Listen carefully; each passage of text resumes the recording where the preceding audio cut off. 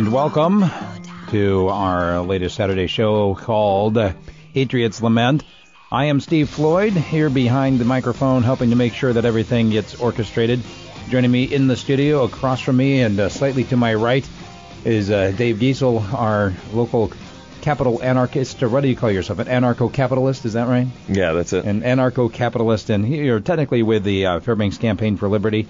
And joining us by phone this morning, we've also got uh, Josh Bennett from Bighorn Enterprises. Good morning, Josh. Morning, crony capitalist here. What kind of uh, crony capitalist? Aren't we all crony capitalists, really, when it comes down to it? We all contribute to the crony capitalism with our tax dollars, right? Yeah. So I guess that technically makes us all crony capitalists. Fund us or else. right. All right, gentlemen. The, the main point of the show is that we talk about liberty here. We talk about how to get it, how to keep it, uh, how you know what to do to keep from losing it. But really, uh, isn't liberty something that, that God gives us? Something that we have inherently, and that some that that we either surrender to other people or people come and take from us by force. Uh, well, even then, we still have uh, we have the choice to obey or not, right? Uh, ultimately, we get to get to choose to comply or not. So even even if they use force, they can't actually take your liberty.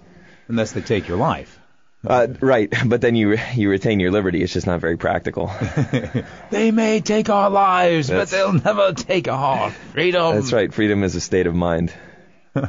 right.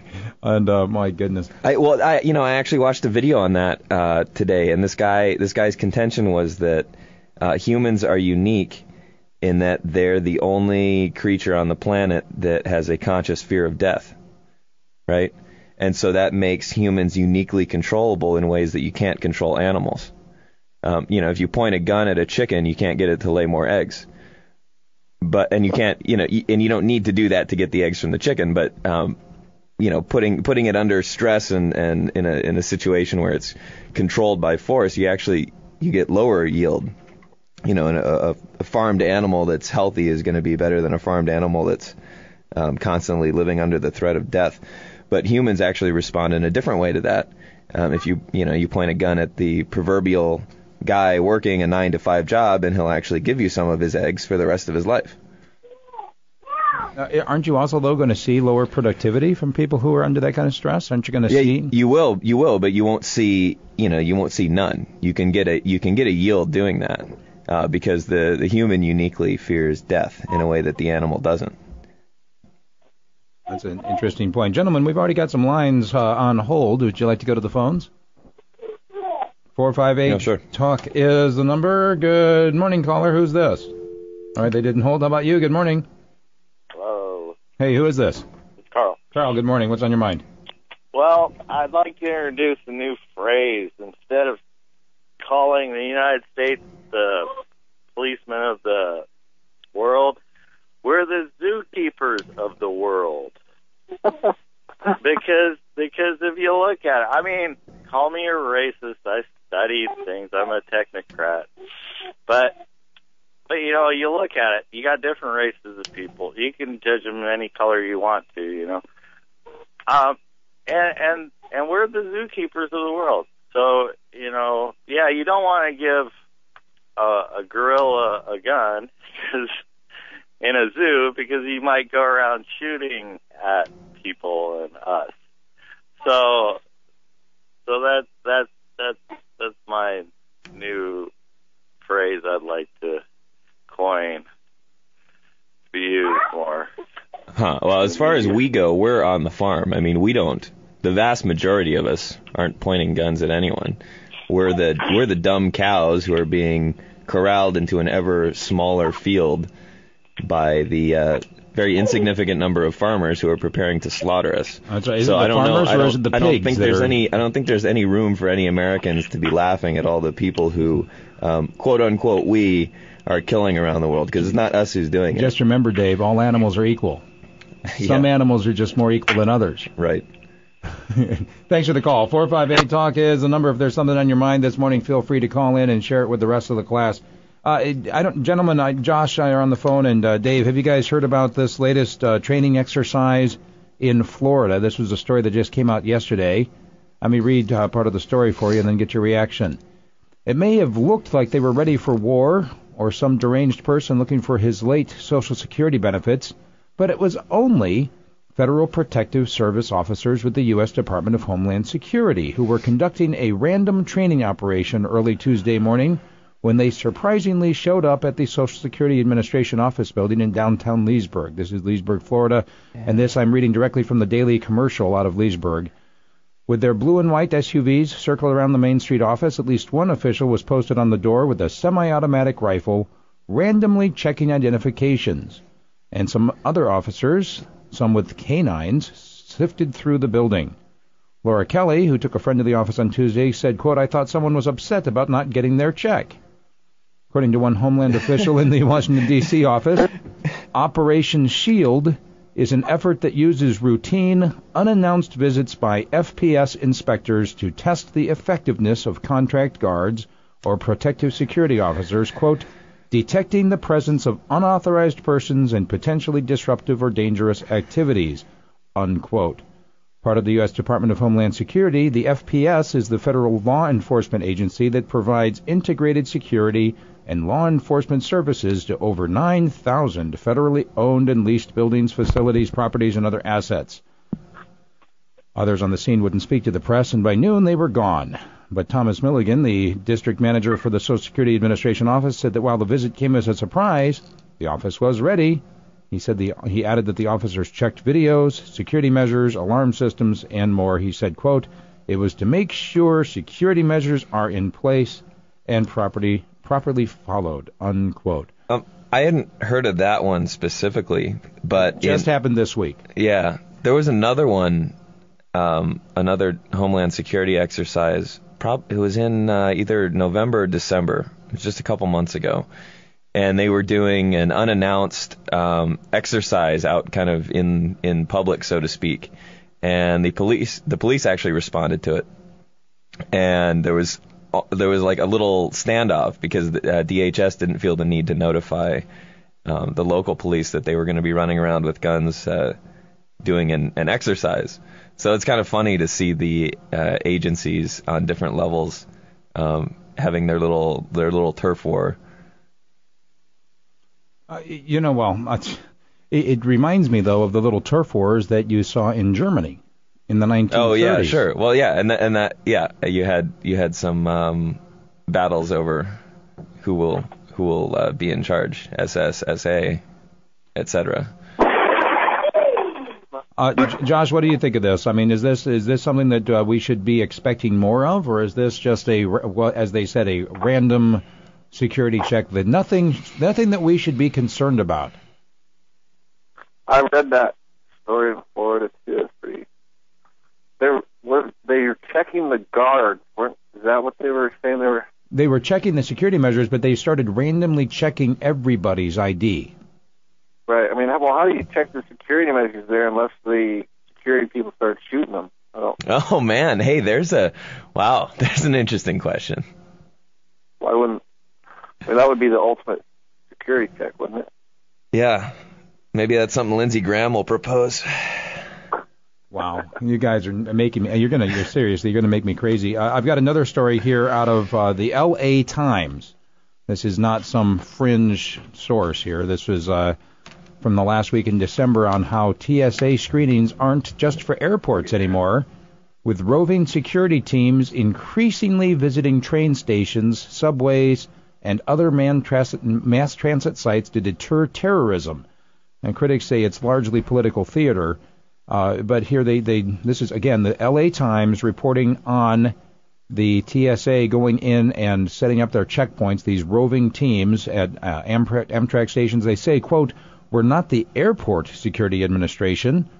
We take the transportation part of our name seriously. They're they're so-called Viper teams. The Visible Intermodal Prevention and Response have run more than 9,300 unannounced checkpoints." And other search operations in the last year. So you remember earlier this year we were talking about how this was happening in Tennessee, and we had callers saying, "Oh no, no, you're just you're blowing that out of proportion. That was just one incident." Here it is, the L.A. Times. The L.A. Times reporting that there have been 9,000, more than 9,300 unannounced checkpoints and other search operations that have been set up by these visible intermodal prevention and response teams, these Viper teams from the TSA. Gentlemen, where are we headed with this? What's going on? Uh, joining us now in the studio, too, uh, Aaron Bennett from Far North Tactical. Good morning, Aaron. Morning, Steve. Uh, you realize the show does start at 10 o'clock, right? Um, well, yours does. Okay. Well, thanks for being here. All right. So the question remains here now with the TSA uh, taking seriously that they are the Transportation Security Administration, not just the Airport Security Administration. They are going to be setting up more of these Viper teams, unannounced roadblocks. Uh, what does that mean to our Constitution? I feel a lot safer. I, I mean, I don't know about the Constitution, but it makes me feel pretty safe. That's sarcasm. I can tell. I think we all need to draft a thank you letter to the Bush administration. what, what were you going to say, They Jeff? An extra. They asked for money for an extra 2,200 checkpoints for this year alone. That Congress gave them 2,200 more than what they had last year. Wow. Pretty sweet. Uh, that is. Yeah, I guess along the uh, well, they have their their so-called constitution-free zones along the Mexican border too, that go what 100 miles in from the border, wow. something something like that. Where Constitution-free zones. yeah, so like so-called right because if you get um, if if you run across one of those checkpoints, your your bill of rights is suspended within that area from the border for for your own safety, of course. I like that. I like having my my my freedom suspended for the sake of my my safety. Yeah. That's that's exactly what I need. You know, it's interesting too as we look at this as this becomes more quote routine, uh, as they're they're saying no no no this was just a routine identity check. This was just a routine security check. Uh, what makes it routine to have the the Fourth Amendment mean nothing?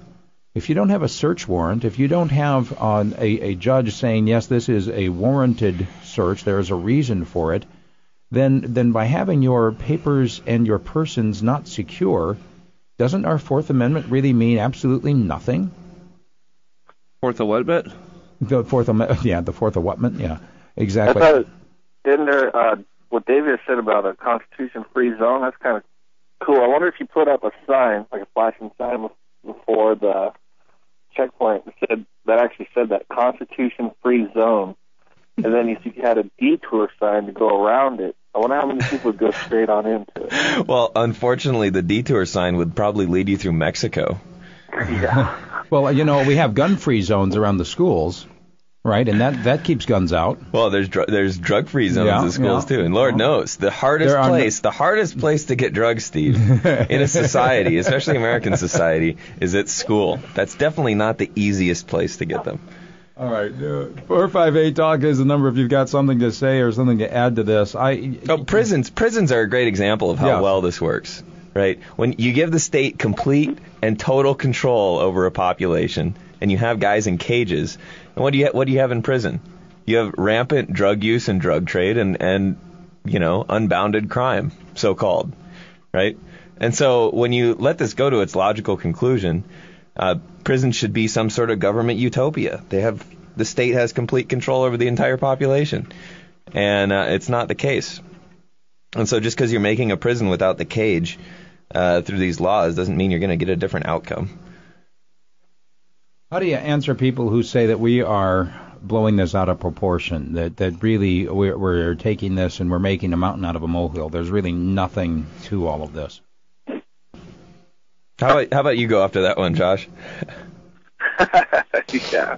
I have to point out to what three weeks ago, four weeks ago, the mountain out of the molehill. Yeah, um, because it is actually happening. I mean, it's not blowing out of proportion, it's actually happening right in Fairbanks, Alaska. Well, for somebody who doesn't know, you actually had your home invaded by armed men. With, Right. with uh, they, they they were wearing costumes. I was at a Constitution-free zone though at the time. No, they you, you asked to see their warrant, and they they what? They complied. They showed you the warrant when they came into your house. They told me to get out of the way, don't cause any trouble. They told you so. So you said no, no. You must have a warrant be, in, in order for the the Fourth Amendment to the Constitution says that you have to have a warrant in order for me to be safe and secure in my persons and papers. And they said, uh huh. Eh? And, and so they so basically they they forced their way into your house, and you had to make a choice as to whether or not you were going to stand aside and let these men trample on your constitutional rights, or take some kind of a stand for what you know to be right, and basically end up uh, well dead. I mean that's that's always a possibility when I mean, you've got guys with guns. Yeah, I'm still alive. You could take it a lot further than that anyway, and just point to history. Anybody that can't look at history and realize where we're headed, Nazi Germany, then I don't even know what to tell them in the first place. You know, that's a really good point, Aaron, because even all of this stuff about the routine, you know, the TSA, that's just routine. This, uh, the Viper teams, that's just routine. It was just a routine identity check. All that stuff. That's exactly what the Germans told the Jews about uh, how they ended up getting them into uh, ghettos. People wonder how did it happen? How did the Jews get rounded up and put in ghettos in the first place? It's because they were told them this is a temporary security measure. Everything's going to be okay. Just go about your everyday life because Yep. there's nothing to work, to concern yourself with. It's absolutely correct. It is routine for government to round people up and detain them and eventually destroy them. That is pretty routine. I'll give the TSA that. They're not lying. It's routine. We did it to the Japanese here at home. Yeah. No. United States. Four We're out five of eight. You know, well, actually, that's a good point. Un, you know, um, the Japanese were rounded up in uh, during World War II, and after the war, you actually had uh, certain laws and regulations and things like that that went away. You know, the Japanese they had their property stolen, but then they were they were let free after the war, eventually, and. Uh, Boy, what else? Oh, like the the rationing, you know, during World War II of supplies and goods that went away after the war. Um, but right now, there's no there's no war. I mean, there's the so-called war on terror, but that's never going to end because terror is a tactic, and you can't actually wage a war if you don't have an enemy. Um, so there's no possibility of any of this stuff going away when the so-called war ends, right? War will not end. It won't the, end. But the Indefinite Detention Act says very clearly that the people who are rounded up and put in jail will be let free after the, It the hostilities are over. That's right. It's not. It's not indefinite. It's only until the end of hostilities, David. Come right, or until you die. four five eight talk is the number. Good morning, caller. Who's this? Uh, yeah, this is Pat. I'm in Delta on a cell phone here. Can you hear me? Pat, we can hear you. Go ahead. What's on your mind?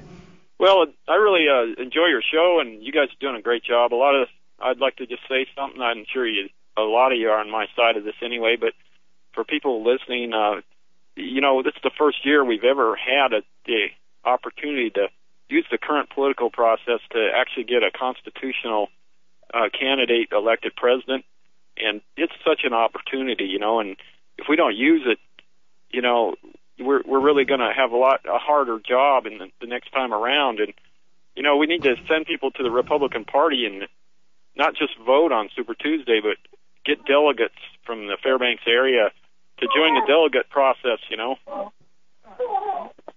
Dave, would you like to Yeah, respond? to well, that? yeah. I mean, they just had their uh, primary in Iowa, and um, I would I would assume that you're uh, you're talking about Ron Paul, of course, and um, he did fairly well in in Iowa, but it's it's interesting. I mean, there's two ways to look at that. He got 22% in Iowa, and Romney and Santorum got 25% each.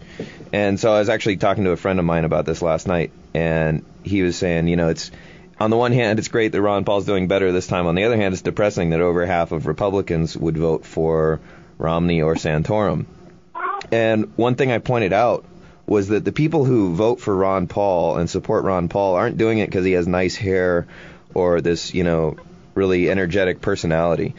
Uh, they're doing it because they believe in his philosophy. And so the the people, you know, if you talk somebody into Ron Paul or if you get them interested, and they really really like the guy, they're actually learning a philosophy. And and it's not, you know, Ron Paul supporters don't support somebody else because nobody else actually has any philosophy behind them. Um, so even if you know supporting him politically and and being a delegate in the state convention, you know, there's there's a place for all of that. Um, but I think actually the the bigger thing Ron Paul's doing is he's interjecting a real philosophy philosophy into the political realm, and the people who pick up on that, you know, a year from now, two years from now, three years from now, aren't going to be swayed by these other candidates. The, a Ron Paul supporter doesn't go and support somebody else because there's nobody else with any philosophy to support. Thanks for the call, and thanks for listening down in Delta Junction. 458 Talk is the number. If there's something on your mind, feel free to call in. We got about uh, three minutes before the Fox News here at the bottom of the hour. And I, I would like to shift gears for just a moment because part of the, the stated purpose of this show is to focus on the Constitution and make sure that people are aware of what it says and are aware of what is happening to the Constitution and the way in which it is being subverted by the people that we elect to represent us and to go about the business of government. Now, what does the Constitution say about the electoral process, about the party process? Dave.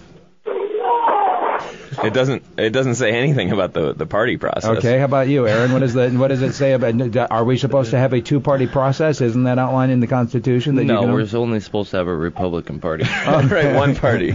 Josh, what does the Constitution say about about all of this uh, political party nonsense? I mean nonsense. What, where am I going? I'm trying. I'm betraying my true feelings. I'm sorry. Go ahead. I don't remember it saying anything. I know quite a few people who wrote or had a hand in writing it had several things to say about uh, a two-party system or the system itself. Actually, I actually don't think any of them that wrote it would believe that it would go this far, anyways, and this long. I thought I'm pretty sure like Jefferson assumed we would be on to bigger and better things by now than trying to figure this mess out. Yeah, they thought it was a basis for um, for kind of future progress towards less and less uh, government than they'd even started. Not not a basis for totalitarianism. However, they warned about that as a possibility. They saw in the Constitution that they had written the ability of the government to step in and control every area of our lives, which is why the Ten Amendments were included. I think, yeah, that's that's true. I think that they would probably be surprised that totalitarianism is being implemented without the Constitution being officially repealed or anything. Like the administrative lengths to which these agencies and bureaucrats and politicians go to get around the Bill of Rights, I think would astound uh, the founders because the king certainly didn't have to. He didn't bother with that much paperwork. he he just said, "Hey, you know, I'm I'm sending you to a penal colony in Australia. Have a nice life." Um, he didn't bother with you know going to the parliament or whatever and getting you know an exception to the rule and some legal language and all that other junk. Make sure that we have that citizenship revoked for those who are dissenters. Right, right. No, no HR 1366 with the king. So I think they would be astounded at, at that because they'd, they'd probably just go, why didn't you just repeal the Constitution and have a king? It'd be easier. That's a that's a really good point. Why not just? I want a king. You've got one. Uh, you just don't realize it yet. Uh, y- y- okay, gentlemen, here's a, a question for you, and we got about a minute left for you to respond, so it's going to be a quick answer. Uh, coming up on 2012, the electoral process, what do you think the possibilities are that we're going to see the elections suspended because of some kind of national emergency? I, I don't think they will. I, I used to think that they would be, and I don't think they will because that's the the more effective way to control it is to have meaningless elections where you still have the whole dog and pony show, but it doesn't mean anything because then people don't realize anything's wrong, or if you say something's wrong, you're a nutcase. All right, Aaron, Yeah. what do you think? Oh, definitely not going to suspend it. So, you- so you think we're going to see uh, the, the meaningless elections continue? Because really, you could say that all, every election that we've had for the last uh, well, 20, 30 years has been in that pattern. It really hasn't mattered. Look at the policies. Well, if we don't if we don't give the right wing Christian conservative movement the chance to get in Republicans, they might get mad.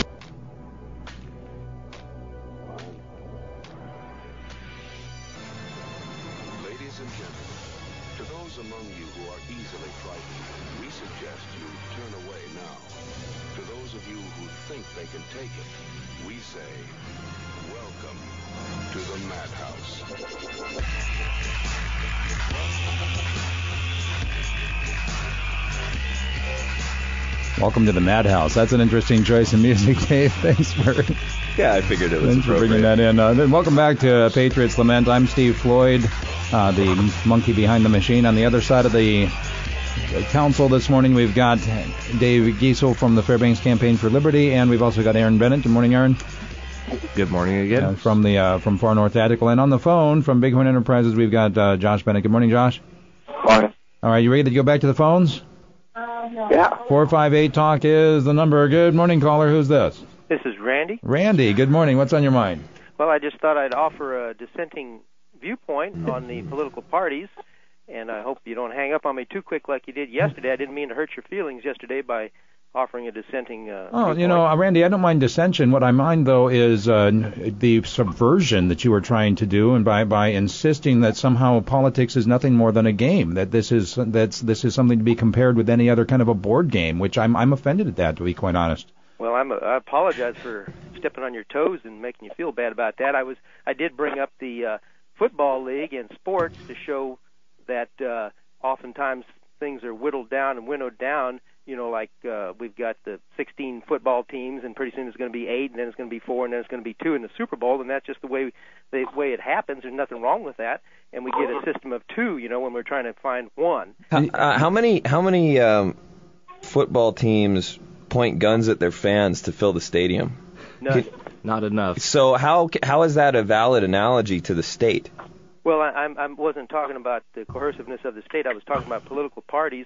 I was just saying that uh, the basic two political party system we have, even though we have other political parties, is just a natural evolution when free people are free to do things the way they want to try to uh, get the people that they want elected elected. In other words, if it was just a liberal that co- the liberal How that- many how many uh, cell phone companies or computer companies or automotive companies or uh, home builders or plumbers are there in this town? Uh, are there two? Do you have two choices in the car you buy, two choices in the phone you buy, two choices in the store you go to to get your food? No, we have many many choices. Yes, like we have many. So just like actually, when you have free people, when you have free people, Randy, Uh-huh. free to make their own decisions and free to buy what they want and interact how they want, you have far more than two choices. Yeah, just like we have many parties, but people tend freely. In other words, I'm I'm a member of the Republican Party. Some other listeners may be member of the Democratic Party. Some members of the Green. We all have freedom to become members and to participate as we wish. No one's forcing me to be a member of the Republican Party. No one's forcing Ron Paul to be a member of the Republican Party. He chooses to, and in the atmosphere of freedom, we have coalesced into two basic parties because there's basically two basic directions you can go with more government control and a little less government So control. wait, wait, wait, wait, wait, Uh-huh. wait, wait. So which party is for less government control? Can you tell me that? the Republican Party in general. Okay, so the, explain. Give me a, give me a Republican president who has shrunk the size of government. uh, I guess during the Eisenhower administration, they kind of had the Taft-Hartley Act, which kind of so we're really we're Wow. really You have stretching to go back 60 are- years to get that one. We're That's really awesome. stretching it when we say that when we say that the that they're pushing in different directions. they are pushing in different directions. Clinton they're grew government less than uh, Clinton being- grew government less than George Bush did. Yeah, exactly. Randy, uh, th- let me ask you this: When you say that uh, nobody's coercing anybody to, to join a party, uh, if somebody comes out with a different party, and uh, say the Tea Party, for instance, uh, which really isn't a party at all, it's just kind of a movement of people, and then you have members of another political party infiltrating and intentionally subverting that party, how is that not a violent force into that two-party system? Can you explain that to me? Well, you're talking about the Tea Party, and I've joined the Tea Party because I've held a sign on corners before with the Tea Party and the 912 movement, and I guess anybody can uh, join in and hold a sign. I mean, I I went and joined in. I didn't join, but I mean, at a distance, I went to the Occupy Fairbanks thing when they first had it back in September, whenever it was, and I could have joined right in the group. I don't think they would have killed me or kicked me out or anything, but I chose to stand aside and just take some pictures. But uh, we just have freedom freedom to in this country, so that's why. That's your answer.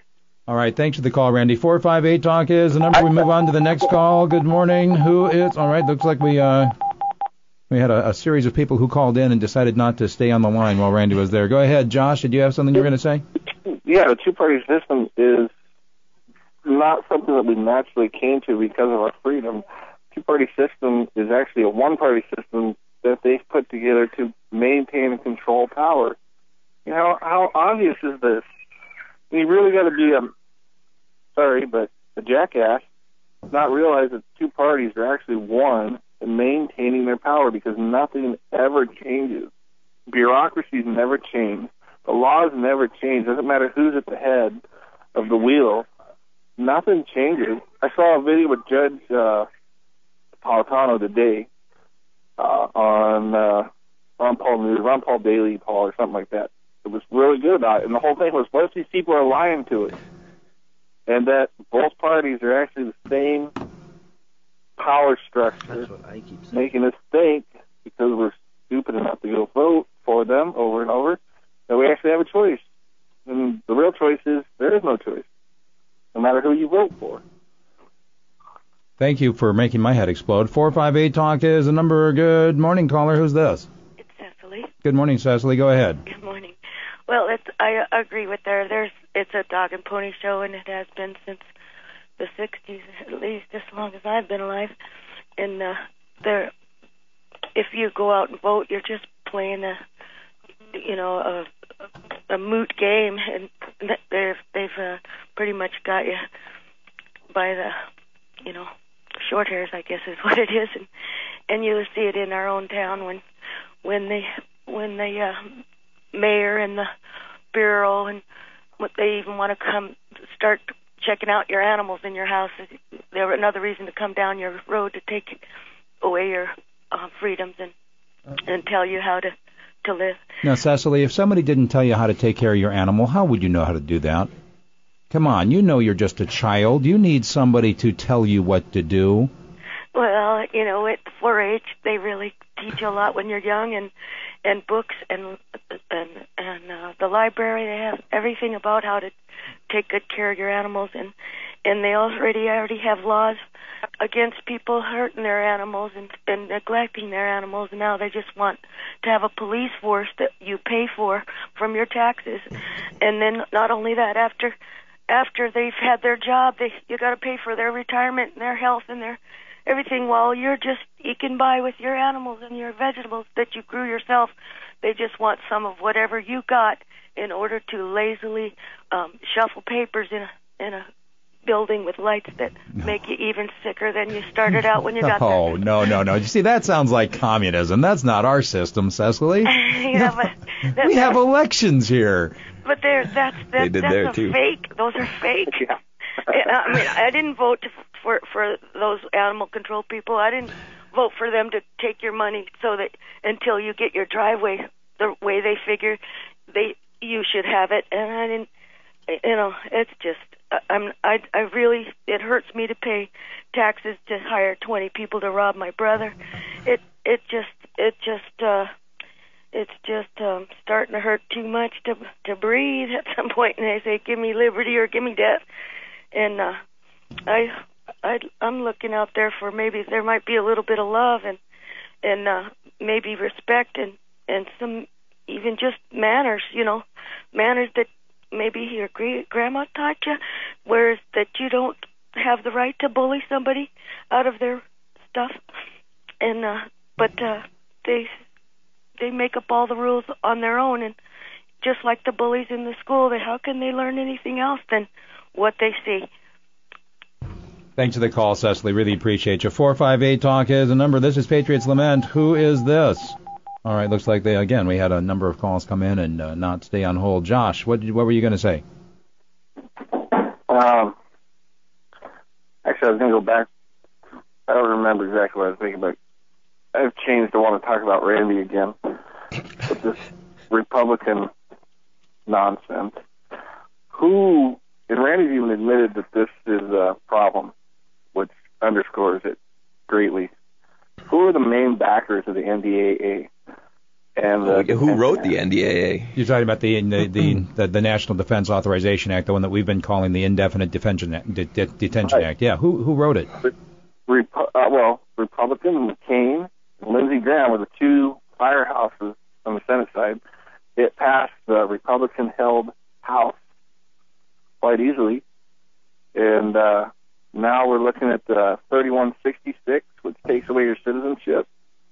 Um, sponsored and written by a Republican. Where I guess we've asked this for several months, but where are people getting off saying the Republicans are the party of less government and freedom? Maybe it's just le- maybe it's not less government and freedom. Maybe it's less government, more prisons. Oh, Hmm, that'll work. there you go. Don't have to don't have to worry about paying out Social Security benefits when you're locked in a cage. Four five eight dog is the number. Good morning, caller. Welcome to Patriots Lament. Who's this? Th- All right, that was, this is a fun day here. Uh, we've either ruffled some Yeah. feathers Well, or this might be continuing from last week. that's Oh, I wonder who it is. uh, yeah, we can only guess. Okay. Uh, you know what, gentlemen, uh, as we look at this, let me ask you uh, on a very real level uh, a sense we do not seem to have the legal standing to go in and plead constitutional rights, especially if we dissent. I mean, we can have our citizenship stripped from us for doing nothing more than identifying ourselves as being against the government and the current regime, whichever regime it might happen to be. Uh, what can an individual do uh, short of simply picking up and leaving the country? And even then, I mean, it, it, at some point that window is going to be closing, and if we don't have the proper paperwork, we will not be leaving. What what can the individual do? Well, you you've kind of answered your own question there to some extent. Um, if you think that it's going to get to that point, um, you want to get your get your uh, situation prepared. You know, set up set up a thing overseas somewhere, find property you like, or move some money into a foreign bank account or something like that, because that option will go away in the future. It's basically written in stone. So that's one option. Uh, and the other thing is, you know, we 50% of Republicans just this last week voted for Romney or Santorum. And so people in this country, by and large, are okay with what's going on. And if they weren't, if a, if a significant number of people, or even just a meaningfully large number of people, were not okay with what was going on, um, things would start to change. And so, you know, convincing people that it's all, not all, you know, sunshine and roses is uh, that's a pretty big step too. I had I had a conversation with a really good friend of mine this week, and I love him dearly. I mean, a great friend, and we were talking a little bit about the politics. He was asking me what I thought about the the Republican primary process and and the people running, and he said, you know what I think we really need is a really good leader. Mm-hmm. And I I'm I he was very sincere, and and I was like, no, we don't. What we need is for individuals to take responsibility for their own actions. We need individuals to take responsibility for their freedoms. We need individuals to actually step up a little bit and, and instead of shuffling off the blame and say, well, it's not my fault, or, or, or shuffling off the responsibility of providing for your own family and going to the government and saying, please take care of me. And instead of going and saying, please lead us, you be our king, Isn't that really the whole idea behind um, why people are so fervent about elections in the first place? Is because they're trying to get that really good leader. I mean, wasn't I mean that's what I heard from everybody about Joe Miller when they were trying to get him in. Is we just needed one good guy. That way we don't have to have any responsibility ourselves. No wonder people cling so hard to their parties. 458 Talk is the number. We go back to the phones. Good morning, caller. All right, we're doing it again. That's fun. I do. I would ask if you call into the show to just wait long enough to tell us who you are, and then uh, and then you can go ahead and hang up. That But way, you're actually doing like a, a dial tone remix. yeah, it's actually that's kind of fun. Yeah. You know, you Yeah, that sounds good, actually. throw throw in some, some techno beat there in the background, and we'll be Yeah. good to go. All right. So, actually, I kind of got an idea who's doing it. I would much rather hear the dial tone. Oh wow. Oh snap! Indeed. All right. Uh, let me ask you guys this here, as uh, obviously, um, Dave, you're talking about. Look, we need to just pick up and leave. Um, well, or I mean, you know, you you look at the situation and you decide what you're gonna what you're gonna do about it, you know, and if if that's something that you think you would want to do in the future, uh, right, get prepared to do it now because that option is go- it's going to go away. I, I, I there are people out there who don't believe this. You will not be able to leave, or you won't be able to take anything. You know, you won't be able to take, Take your money, money with, with you, you, uh-huh. certainly, and money makes leaving a lot easier. That will happen soon. It's already happening now. The uh, the foreign requirements, the the FBAR form, has gone from it used to be a one page kind of trivial form that you filled out on your foreign assets. It's like 15 pages now, and there's a secondary form that's new for 2012 that you have to uh, fill out too. And so all of the uh, ways of holding assets anonymously overseas, which you could do for years and years and years, um, have gone away. They've all gone away. You have to report everything, and of course, reporting is the first step towards what? confiscation. Right. And so this is happening. This is not like a hypothetical situation. It's happening now, and it's it's very real. So if you don't get ready for that, um, you know, if you if that's part of your plan and you don't prepare ahead of time, um, I you're going to be screwed. It's better to be it's better to be a year early than a day late, right? Exactly. Now, how how and I think this is going to be our action point today because we we've spent a good amount of time on it so far. Specifically, how can we be prepared? You talked about. I mean, we've talked in the past about uh, getting our assets moved into precious metals, but how are you going to move uh, gold and silver across the border if it's time to leave? Well, you got to have it stored there ahead of time. You won't be able to take it. uh, I mean, you can take it with you now, which is which is dumb. It's better to have somebody else transport it for you if you're talking about a large amount. But you can buy gold and silver overseas. You can set up an overseas bank account or a, you know a foreign bank account or whatever. These are available. These are options that are available. It takes some time. There's paperwork. You're going to have to report it, which of course you want to report it. The last the whole the whole goal is to preserve your wealth, and you can't do that from a cage if the IRS comes after you. Uh, but there are ways to move it. There are ways to move your assets overseas, and especially important if you do get prosecuted, actually, because you have access to those assets, uh, unlike your U.S. assets. If the IRS comes after you, um, or if you're a domestic terrorist, the IRS will will close all your accounts. And, and how do you get United States identified as a domestic terrorist, Dave? by being on this radio show? I think. Exactly. But Or- so so then how do you defend yourself? listening. The, the That's first the the, first thing they do is seize your assets. So you want to have some way to defend yourself because I mean having a having a good attorney makes all the difference. So there's just pragmatic, practical things about that. Uh, but if you know if you want to change your own community and your own country or whatever, talk to your neighbors. Um, but if you don't believe that that's going to be 100% effective, you might want to have a plan B ready to go. All right, 458 Talk is the number. We try again on the phones. Good morning, caller. Who's this? This is G-Man. G Man, go ahead. well, we know how they're going to grab the rest of America's wealth, our parents and our grandparents' wealth that we have left, which is pretty much all we have left. My generation's holding $18,000 in credit card debt, but all you got to do is trade in your dollar for $10 for one yen, fill in the blank, whatever. But that's not why I called in. Why did you call Oh. in? Ron Paul is the answer, but it's not going to happen because there- you got guys like Randy that believe. I mean, they actually believe in their heart that the Republican Party's the savior, and it's not. They're uh, they're just a Democrat in a dif- different set of clothes. Um, so if Ron Paul runs as an independent after he loses the nomination and splits the vote like Ross Perot did, we'll get Obama, and then hopefully uh, within four years the whole thing is going to collapse. Do you think that's a good thing, or you think that's the answer? I'll hang up and listen. Oh, G Man, thanks for that call. That's all you. I can definitely tell you that it's not a good thing. And everybody, you know, all the right wing patriots out there have this dream of a collapse happening so they can go do whatever it is they were planning on doing, which I'm not sure what the hell that or heck that is.